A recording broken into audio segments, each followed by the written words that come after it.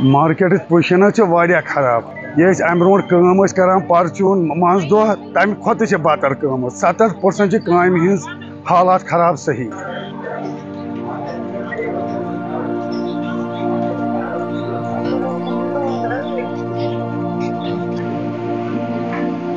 Market totally कि तुम वुचान वनस पाँच दह रूद ईद तुम वुचान मार्केटस मज क्या शुम शाम सरसी मार्केटस कुन साइड कम कहें ना इंसान मा हेकान माल अनित ये मे बिचार माल ओनमुत सह परेशान त्यूता क्या ईद बोड़ दह सारे इन वोल बिज़नेस मैन सारी खराब। मजूर तबकह बे गो द्रजर तम चीजन तर परेशानी। बेस बे ऑनलाइन सह गो अम तर परेशानी ऑनलाइन त मजूरस बिचारस काम दह जेना तमिस तथ बराबरी कहें सह कर शॉपिंग सह क्या ईज कि पलव बाकी चीज़ चपन बूट अम चीजन कर अवे मूजूब मार्केट खराब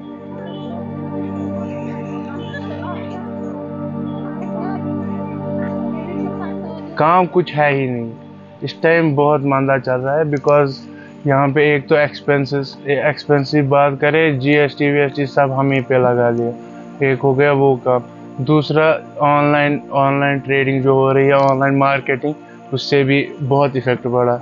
इस टाइम जो काम होनी चाहिए, वो तो है ही नहीं। और यहाँ पे हमें स्मार्ट सिटी के चक्कर पे पार्किंग ही ज़ीरो रख दी जो पार्किंग रखते थे, गाड़ियाँ रखते थे, बीच में वो भी अब रख ही नहीं पाते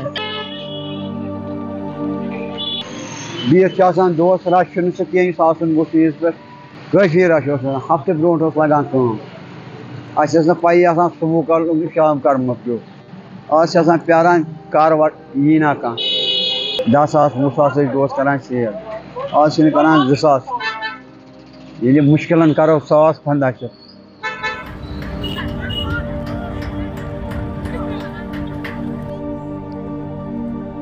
तो पिछले साल की बिज़नेस थी, वो तो अच्छी थी, लेकिन जो आजकल की बिज़नेस है, वो तो पूरे का पूरा ठफ है। पता नहीं, लोग लोग बोल रहे पैसा नहीं, आप ज़्यादा रेट बोल रहे ईद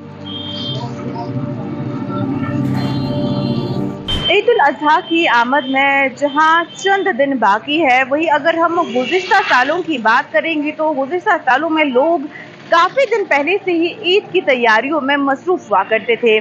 लेकिन अब की बार हालात कुछ अलग है।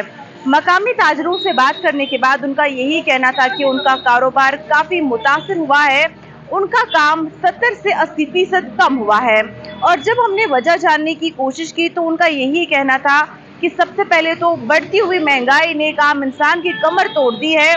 दूसरी बड़ी वजह यह है जो कि ऑनलाइन मार्केट की वजह से उनका कारोबार काफ़ी मुतासर हो रहा है। लोग अब ऑफलाइन के बजाय ऑनलाइन को ज़्यादा तरजीह दे रहे हैं, जिसकी वजह से दुकानदार काफ़ी परेशान नज़र आ रहे हैं। और उनका यही कहना है कि इस वजह से उनका कारोबार काफ़ी मुतासर हो रहा है, उनकी आमदनी काफ़ी मुतासर हो रही है। ऐसी मजीद अपडेट्स के साथ फिर हाजिर होंगे आप जी के टीवी, देखते रहिए।